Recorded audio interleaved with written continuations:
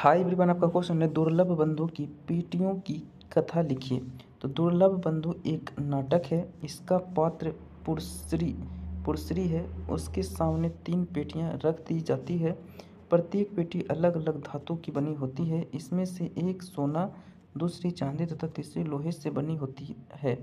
प्रत्येक व्यक्ति को एक यह स्वतंत्र है कि, स्वतंत्रता है कि वह अपनी मनपसंद पेटी को चुने।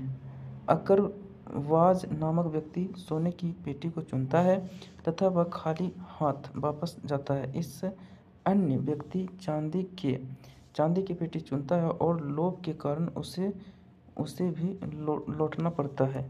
ठीक है? इसके विपरीत जो सच्चा और परिश्रम होता है वह लोटे की पेटी चुनता है।